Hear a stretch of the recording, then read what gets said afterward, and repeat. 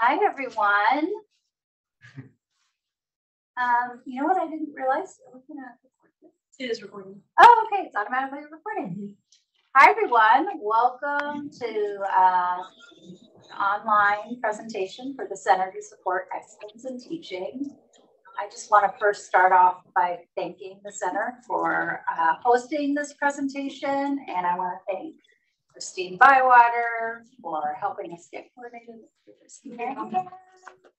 Um, and I get the, uh, my name is Laura Wentworth. I work for California Education Partners, where one of my roles is to help Stanford University Graduate School of Education and centers like CSET partner with school districts um, in our local region. So I run the Stanford SFUSD partnership. Uh, so today I have the privilege of introducing you to our speaker. Um, and uh, I'm going to start off by um, telling you his name is Simon Scholden. Close, close. I, I've been mispronouncing it all day, but it's really a beautiful name. But um, he's a PhD candidate uh, from Maryland. We'll, Okay. we'll say so. We'll say so. Um, see, I practiced it well. Um, but from um, all the way from Sweden, and he's out here visiting and meeting with lots of people at Stanford and locally, and then heading to AERA um, in Chicago. So you can catch him there too. He's presenting on a paper that um, uh, graduate school of education professor Amado Padilla and I uh, actually have used in uh, one of our classes on research practice partnerships. Um, and it's a literature, a systematic literature review that I think anyone who's working in research practice partnerships, whatever your role, will find really useful in terms of the framework that evolved from these findings. I also met Simon actually virtually this, what was it, this spring or fall, Fall. fall, fall, um, where we were both part of a collective of people um, that were working to build the field of collaborative education research. And I have another one of my our distinguished engagers, Kemi Owel- Oweli, and we have oh yeah oh yeah here Jane White is here and others. uh, Some of you that are probably on this call were involved. So without further ado, I just want to really welcome Simon to uh, the presentation, and I, I get to hand it off to you now. And you can you can change, you know, correct all my mispronunciations. Thank you so much for that wonderful presentation, even though the pronunciation was a little bit shaky. Yeah, It was better when you practiced actually. Yeah, know. Much better. get a little nervous. Yeah. So as Laura said, my name is Simon Sjölund uh, and I work at Mälardalen University. Yeah, uh, and as you said, I will be presenting from some from a systematic literature review, and I have to, of course, mention that I had three co-authors to this paper as well. I didn't do the work alone. They are my supervisors and esteemed colleagues, Jannica Lindvall, Andreas Ryve, and Maria Larsson. Without them, I couldn't do this kind of heavy work of doing a systematic literature review, which is one of two that I actually did in kind of the same uh, project. But this one is also the one that I'm most happy with and that I think is most useful. So I'm happy to present that here. Kind of a quick overview of what I want to talk about. I think I will skip the about me part because that was so diligently done by Laura uh, and go to introduce the topic at hand, the objectives of the paper, and, briefly mention something about the methodology and before going into the results, the conclusion, which are the like most interesting parts, of course, and hopefully we can discuss something based on that. All right, so we'll skip this, I think. And I think it's kind of custom to introduce and talk something about the, say something about the Swedish context as well. Uh, Go coming to the US and presenting here, even though my systematic literature review has 90% of the articles from the US context, actually. So it's not really related to the paper that I'm presenting, but me being from Sweden, I think it's kind of customary to give a little uh, info about our educational context. So first, uh, you'll see uh, some practical information. We have a preschool for ages one to five uh, with an 83% attendance. At age six, we go to preschool grade, which is compulsory from 2018, and then move on at age seven to compulsory education, which full qualifications, which means that 83.5% manages compulsory education and move on to uh, upper secondary education at age 16. And we have mostly national programs a 5% completion. completion and then we move on to universities, which are all uh, state funded uh, free to attend. And you also have, if you haven't managed the grades to go to university, you have second chance education, which basically uh, after school you can fix your grades a bit. Something about the like more kind of policy environment in the educational context, more general terms. We have a quite recently, uh, we have been run by the state for a long time, but now we have a decentralized system as well, which is run by municipalities to 85%. And we also have private actors. Uh, we talked about it, Jane and I earlier. I think we could probably compare it to charter schools mm.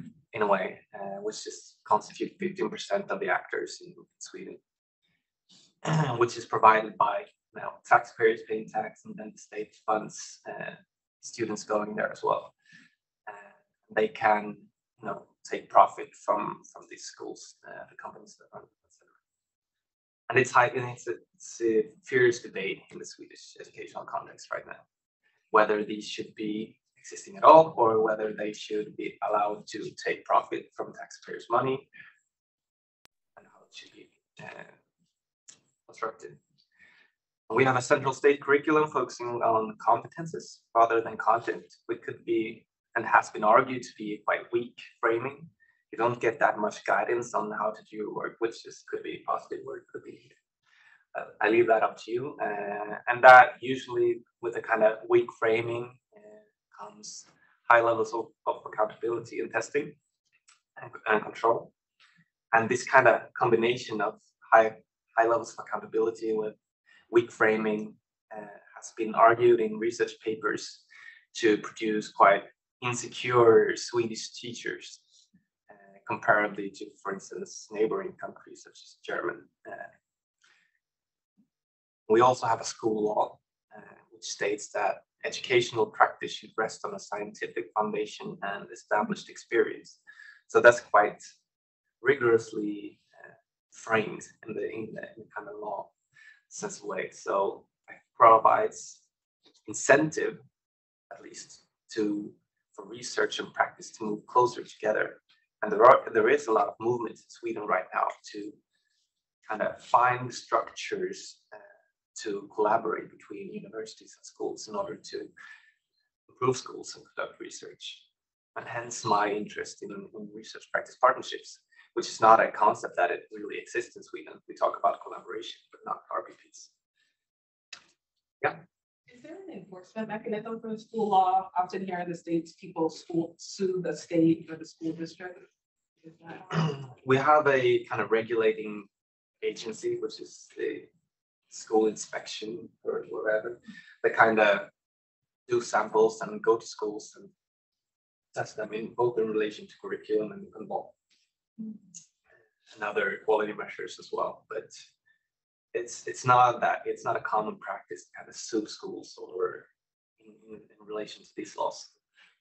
Can I just ask before, how is the sound for the online people?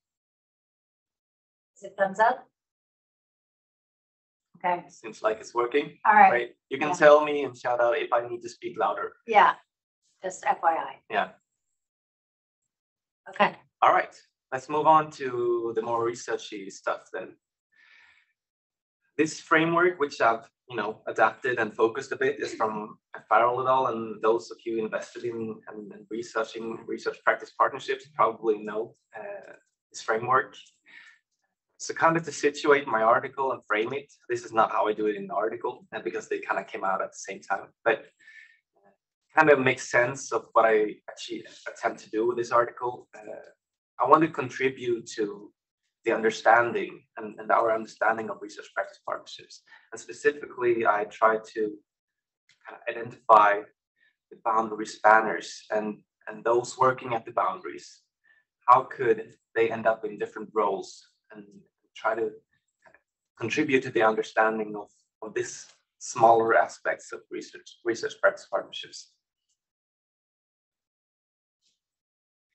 And and I thought there was a of a lot of research was happening at the time, and the, there was an increased attention, which we will see also in relation to my data, to doing research on these kind of structures. So there was a there was a place to kind of try to navigate and map the the existing research, and that's why I decided to do this systematic literature review. So the objectives then. I've tried to challenge myself also, I can say, both in terms of coming here, but in terms of doing a presentation. Nice. They both, that I'm not aware. So it might be too much and it might be, it's not gonna be too little, but. But anyway, so I had some objectives, of course. Uh, the main objective is to map how roles of researchers and practitioners are characterized in these kind of research articles. And the second objective that kind of follows is to discuss authority and engagement based on the findings that relate to objective one. All right, so something about the methodology. So this is, as Laura mentioned as well, this is a systematic literature review that entails a certain set of kind of principles and rigor uh, and ways of doing things. And I searched ERIC, PsycInfo, Scopus, and Web of Science in order to get a kind of wide variety of, of different articles uh, as a base. And in my initial search, I got 1,220 articles uh, after the, removing the duplicates. So, and through inclusion and exclusion criteria, um, which is like formulated in my article, uh, I managed to get it down to 80 studies, uh, which is the kind of basis for my analysis.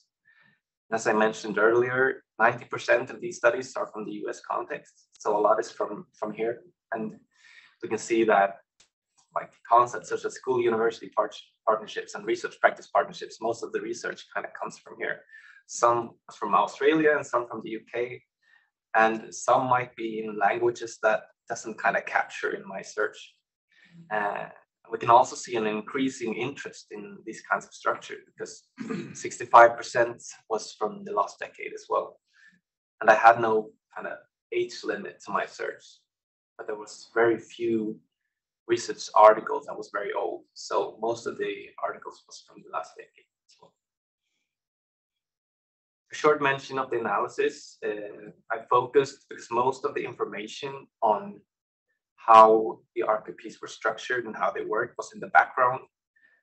That's kind of unconventional, you might say, for systematic literature review. Usually you look at the results of the articles mm-hmm. to kind of compile them into either mapping or kind of aggregating.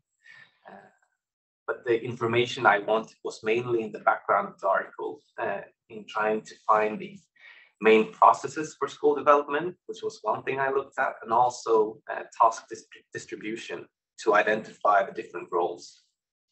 So what kind of tasks were put on researchers and what was put on practitioners, etc. So to the results then.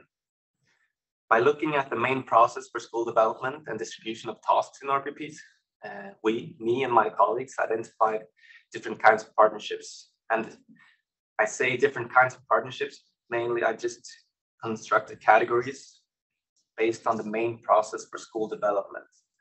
So what do they utilize the most to kind of achieve some kind of improvement or development in schools? And then I will call them a kind of partnership or a partnership type. Uh, and I also identify different role categories. But to start with, these kind of different kinds of partnerships some partnerships mainly used inquiry for school development. They investigated practice through collect, collecting, analyzing data, trying to get more knowledge on a certain problem of practice. And if you've read some of the RPP literature, you might kind of see a similarity to research alliances, which is framed by Coburn et al.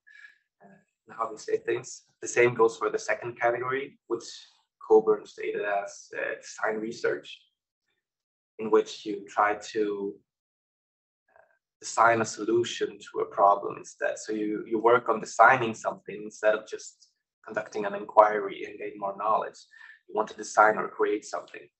So there's a difference on what you utilize to get at improvement in schools. And the third part is that you utilize the expertise and experience with different individuals. So researchers and practitioners, they get together trying to utilize each other's expertise and experience in order to grow and, and achieve school development. So you see there are kind of different instigating factors for these kind of different uh, types of partnerships. And below all these. Oh, want us to just forward it? That's great. I can see, no, might be dead batteries or something. All right, and, and connected to all of these are different roles. We're gonna have a, a lot of work because. That's right, just give me a cue. Yeah, I will, since there are some like animations. That's it. we'll figure it out. got fancy. Yeah. All right, so for each of these main processes for school development, we have different role categories for researchers and practitioners, and they're related since it's task distribution. So if tasks are distributed to practitioners, it's not going to be distributed to researchers. So they're kind of connected. So that's why I couldn't kind of separate them into a set of practitioners positions and researcher positions. But I will talk less about them now and more about them later. So we can uh, move on. So I'll, do a few quotes, two of them, to kind of show you my analysis process and, and what I went through to, to achieve these results. So here you have a quote. During these briefings, researchers present key takeaways of the study, provide relevant handouts, uh, which is one-page data analysis for each community school, and pose discussion questions known as considerations for practice to stimulate dialogue about how findings may be used for action. And here you can see that researchers do most of the inquiry work. They collect, they analyze and synthesize data, and then they kind of present the results as considerations for practice to, to practitioners.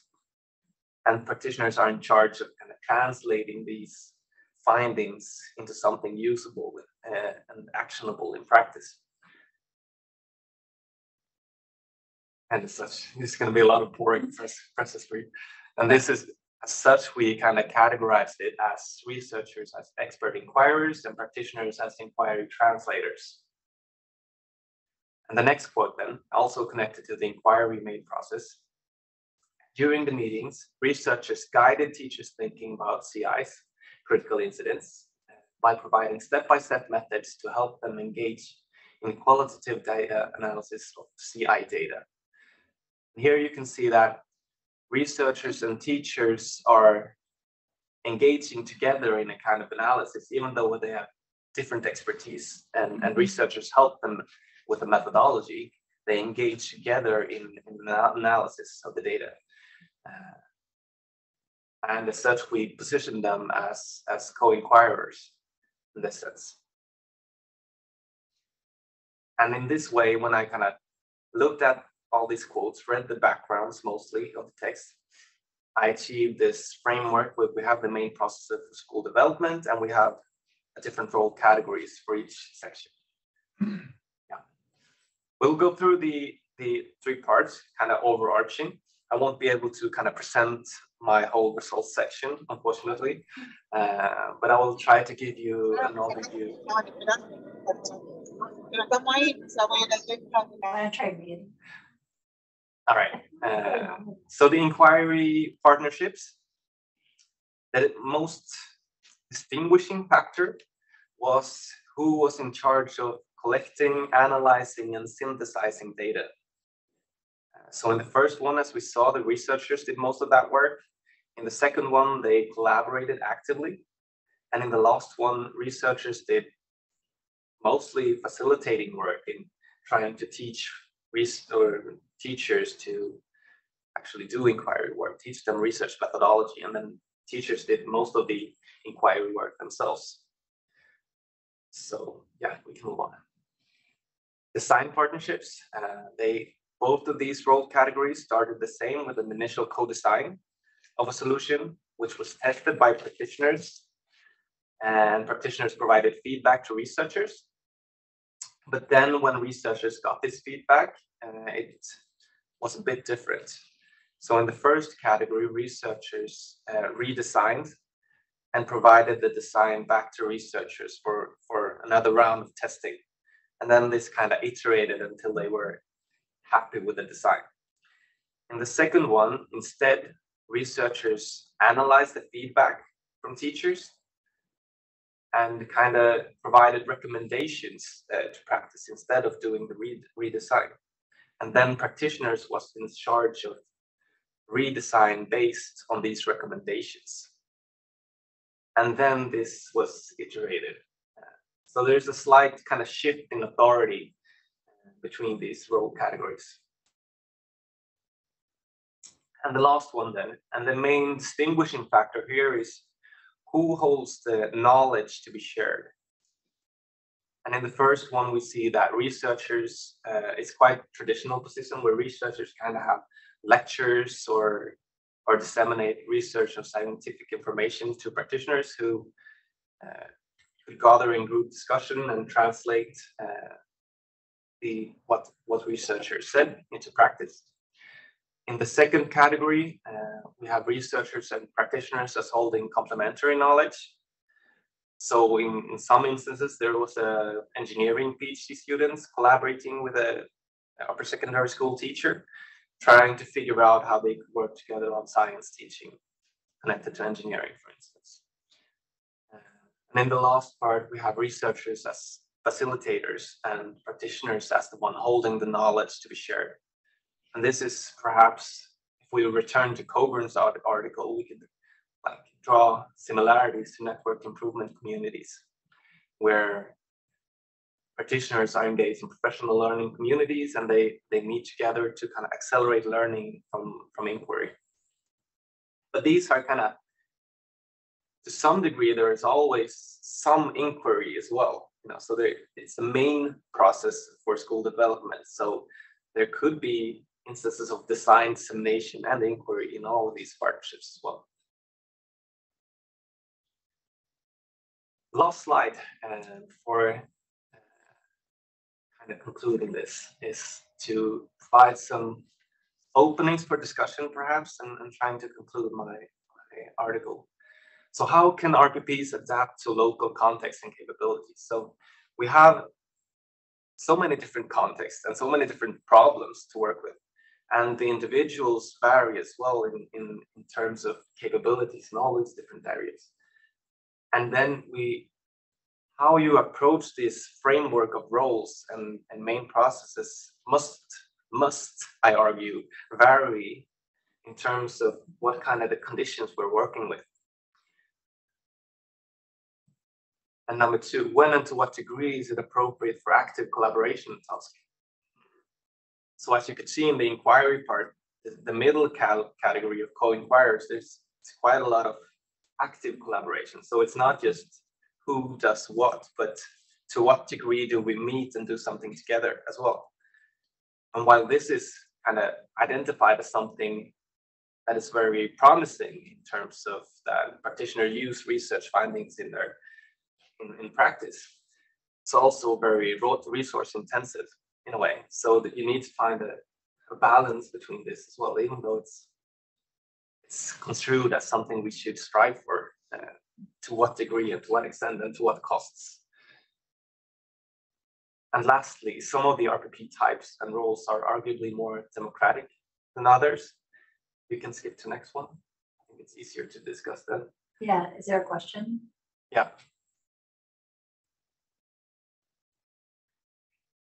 Uh, someone had a question that was on Zoom.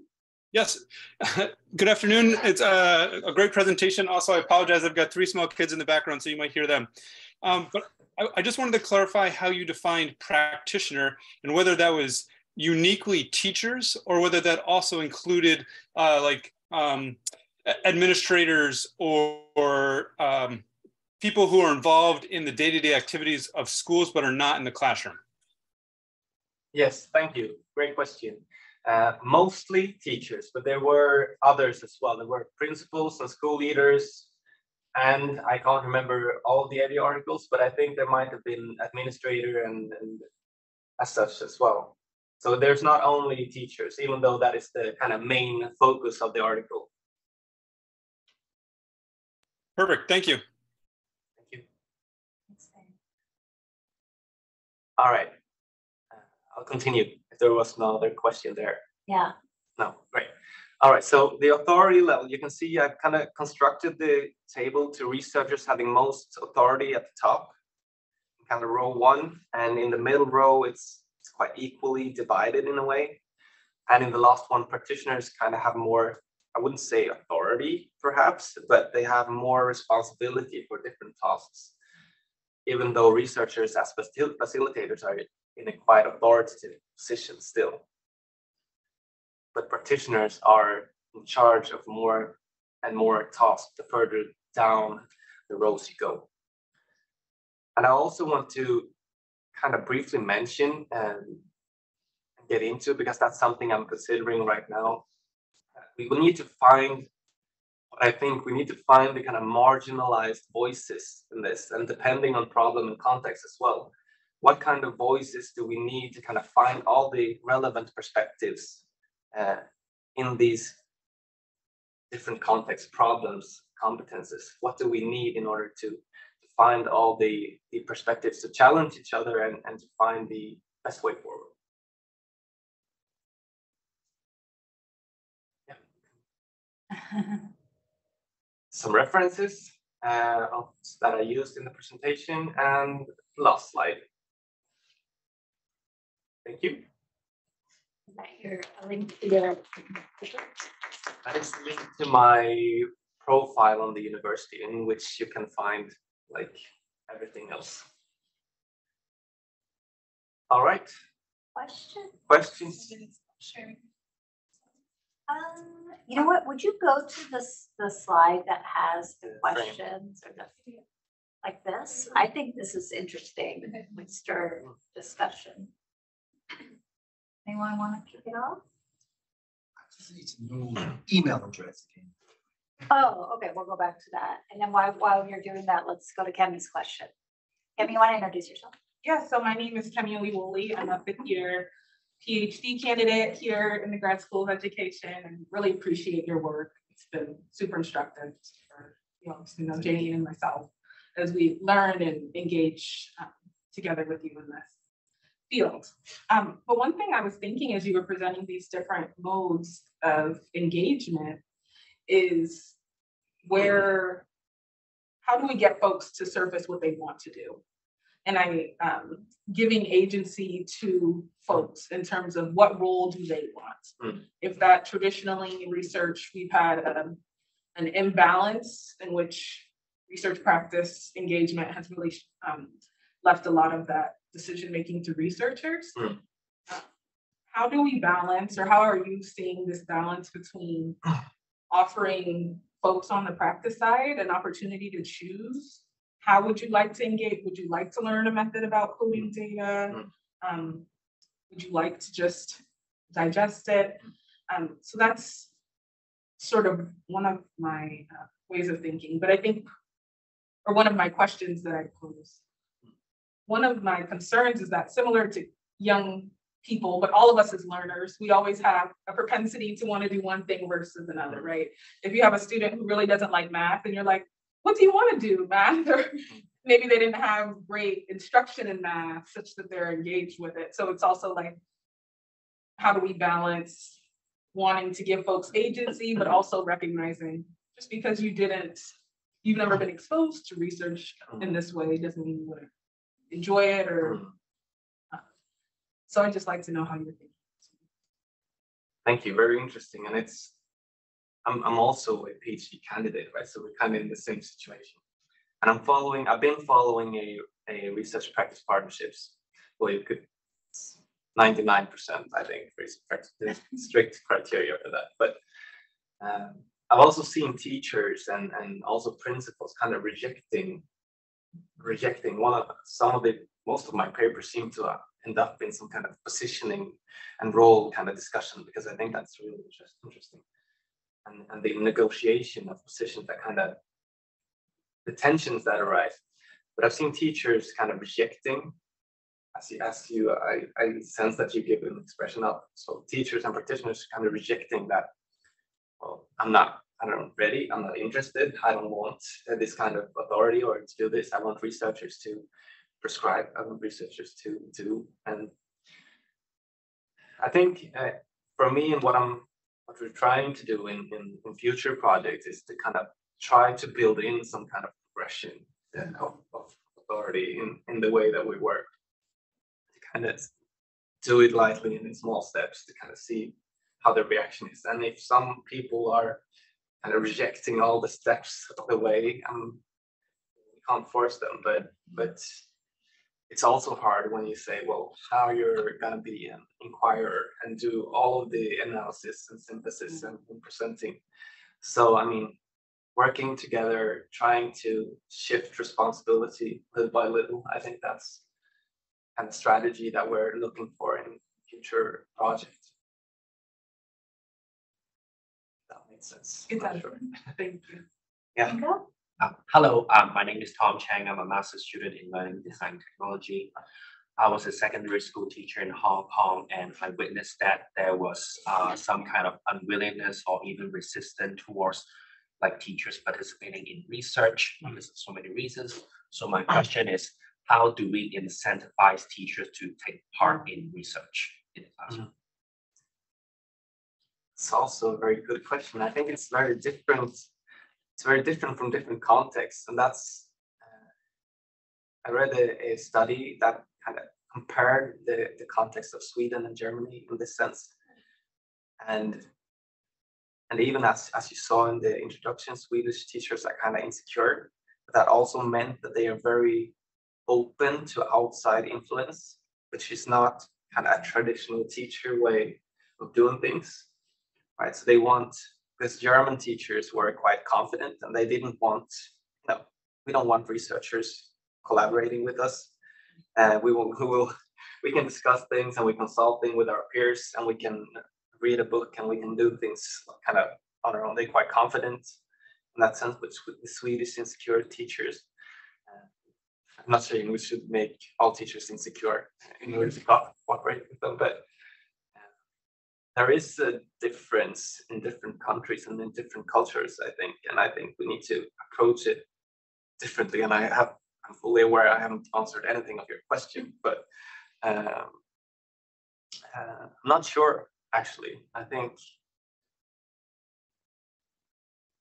the same, the same kind of thing that you need to, to some people, I think you need to prove, you need to work with those that are willing to work with you. And perhaps little by little, you can prove that this is an effective, this is a good strategy to work with. That's also, we're applying for funding for a new project right now, which I was kind of hinting at with talking to you. And this is the same kind of strategy that we're kind of evolving that if we can find a core set of people uh, that believe in this and we can work together with them and we can prove that well this this works perhaps we can little by little also this kind of stepwise win people over to this way of thinking or this way of working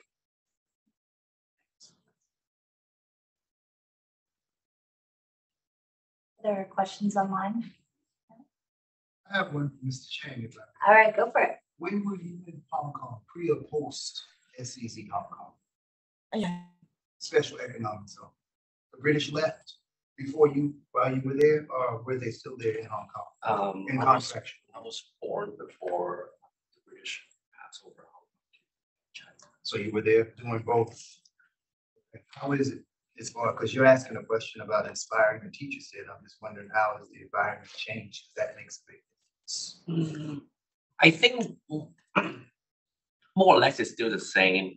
Um, it's hard to get teachers to take part in research because um, teachers want to cover their ass. You know, if they're Mhm. taking part in a research project and it shows that they're not teaching effectively, Yeah. then this makes them look bad, Mm, right? mhm. So if they are given a choice whether to take part in research or not, they choose not to.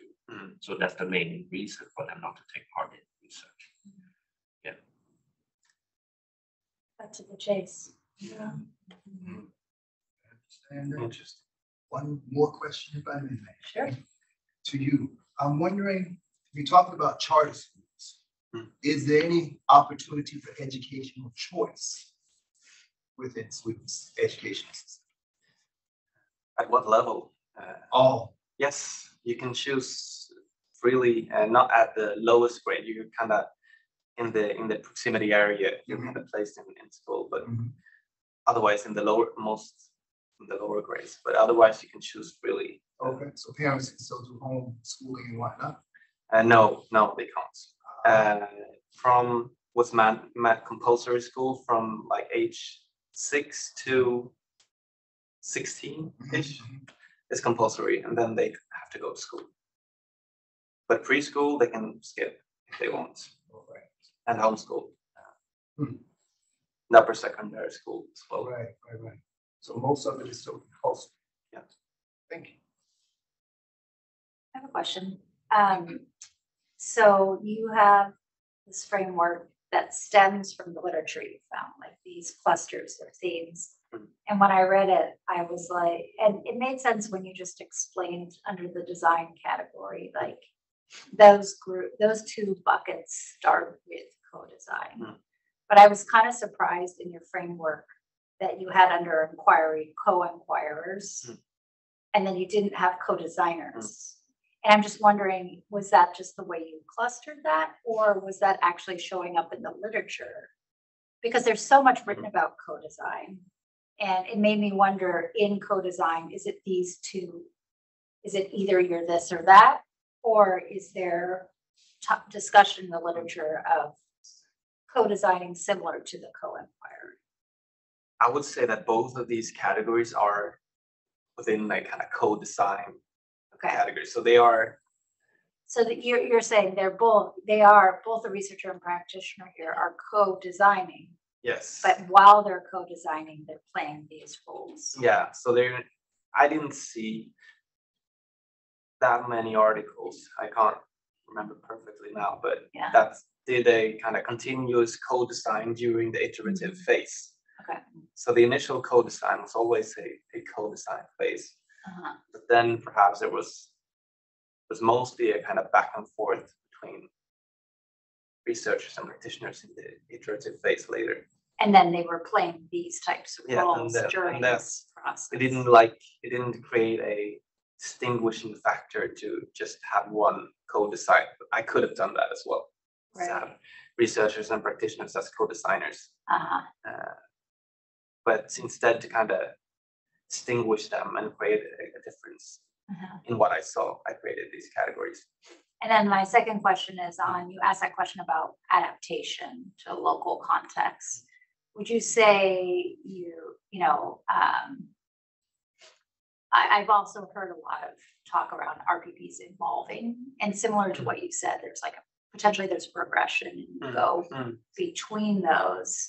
Did you find in the literature at all any capturing of that evolution? Like I started it over in the inquiry phase, but I also am doing the design phase because I I've heard a lot of RPPs as they mature, like sometimes researchers feel like they don't have the expertise to answer the next question that the mm-hmm. practitioner is asking or mm. that they've co-developed, co-developed together and they need to bring in other expertise. But I'm just wondering, does that come up in the literature at all?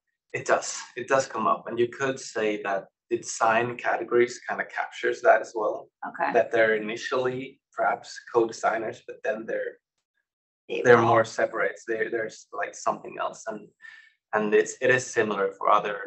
I saw that in other partnerships as well that they could, they can also move kind of. But I try to capture that as much as possible within the categories.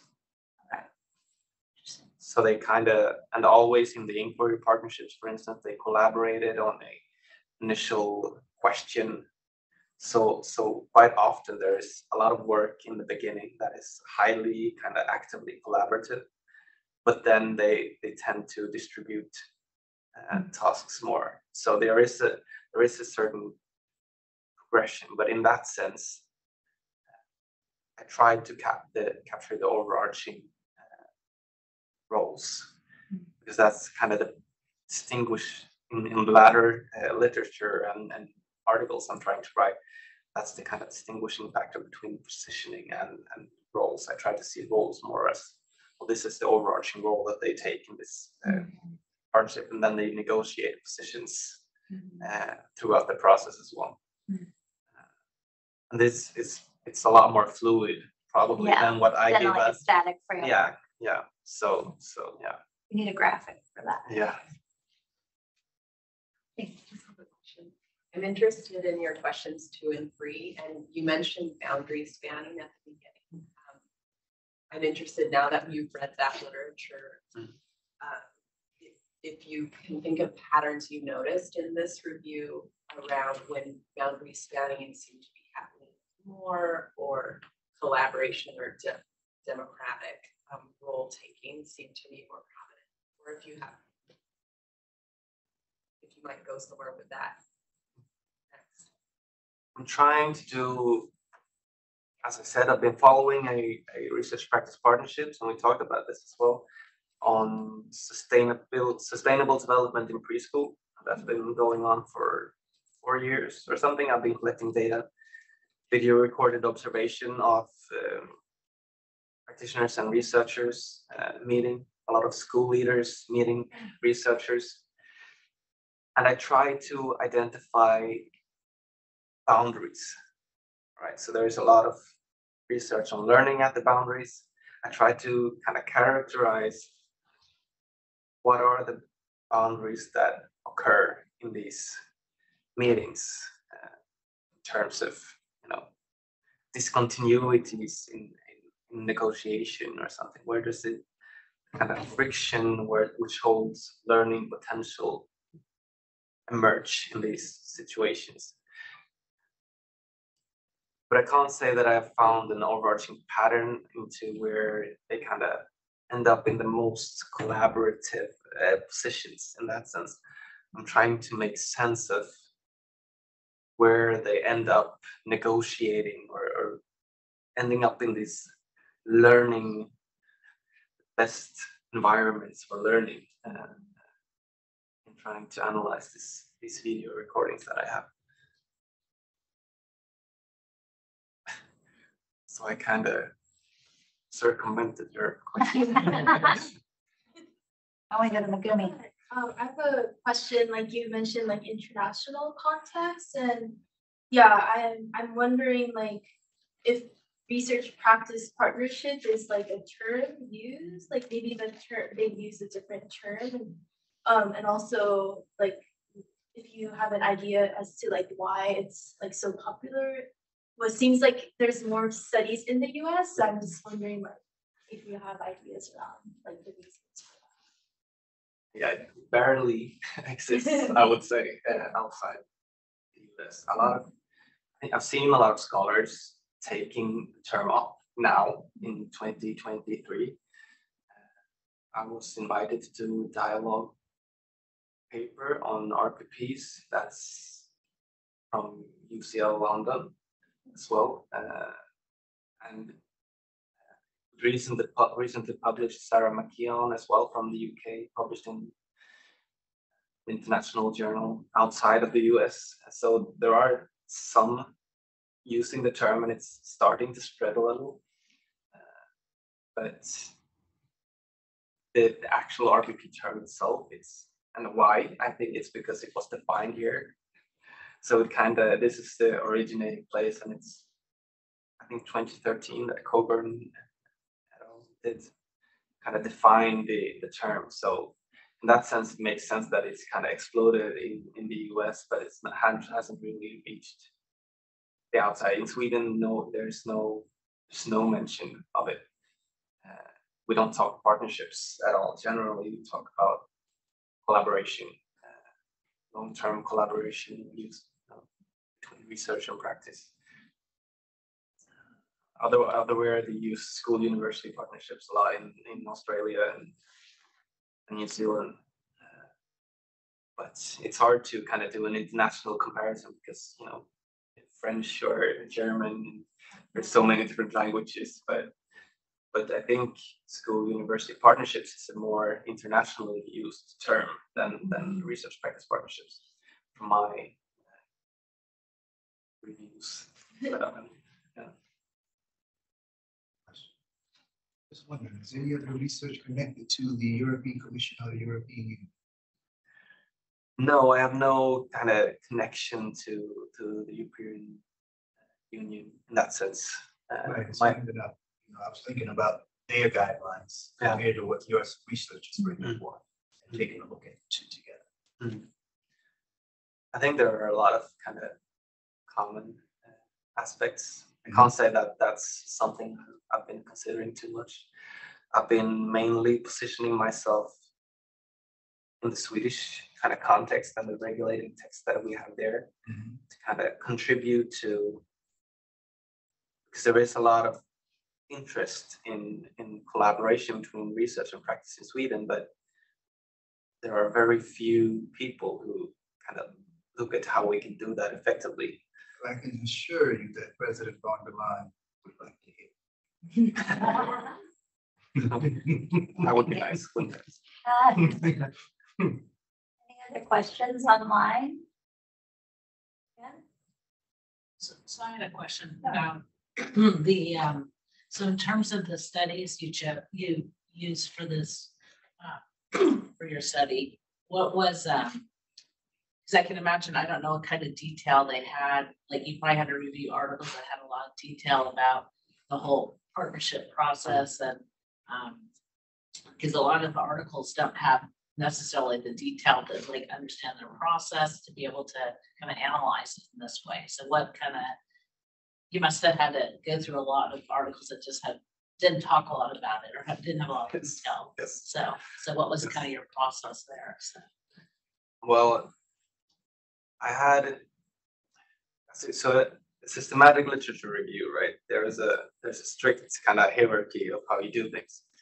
So I had originally originally I had about two thousand articles uh, to go through, and but that was kind of broad framework. I did a kind of visualization of different concepts used, uh, and I identified research practice partnerships, school university partnerships, and university school partnerships as my key search words. And then I got to 1,220.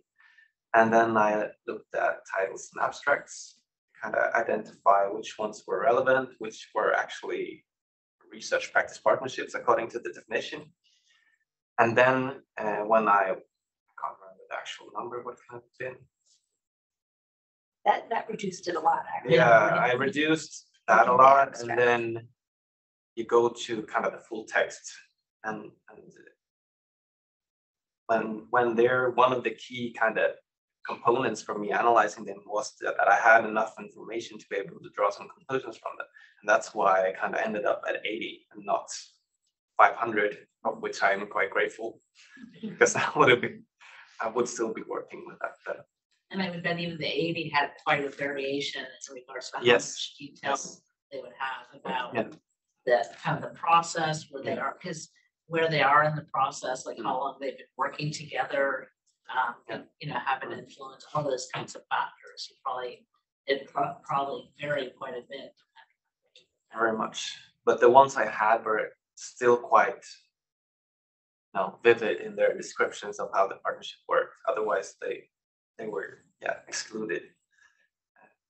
So, but yeah, there, there is a lot of variation, of course, in how you write things in different journals in different contexts, and, and different authors have a certain way of doing things. Was there any follow-up with any of the There's- partnerships at all, like to get some, any additional information? It was No. pure, pure pure textual article stuff.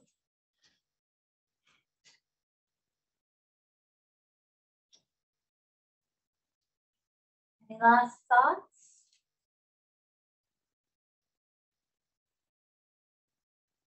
I, I, the last question I'll end with, maybe if people want to want more, is I love your last question around types. I would say typology in RPPs has been quite contentious. Mm. I think you saw the change from the white paper in two thousand thirteen William T. Grant to the two thousand twenty-one, where Mm. they talk about dimensions of variation.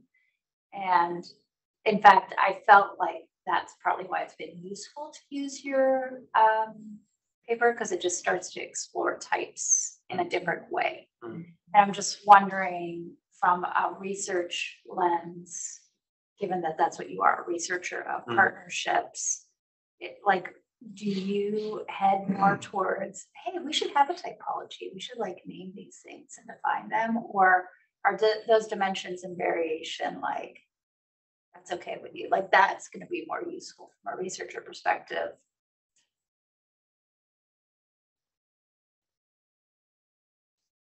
Think the, I think we always kind of seek a, a typology uh, because it's very easy. It's easy to kind of comprehend and to use, but as you said, I, I can't agree more. I think that it's it's more useful as a as a researcher to kind of have something more fluid Yeah, in a way uh, to look at different dimensions and, and look at it in different ways. So I think I would, ask, as the question is, is posed, I would reject the kind of set uh, uh, type because it doesn't, it's so hard to capture uh, things with that kind of typology, to have a kind of final typology of things. Uh, Sometimes they're useful, sometimes they can be very limiting. Well, any last questions? Online group, this is your last chance. Need a model laugh. All right, well, we're gonna give uh, Simon a round of applause. Thank thank you for coming, for coming all the way from Sweden just to talk to us. I know you. Um, and we'll say bye to our online group unless you have, you know, you want to unmute and say your last words. Nice to see you all. I see you. Um, and I just want to invite, uh, I think some of you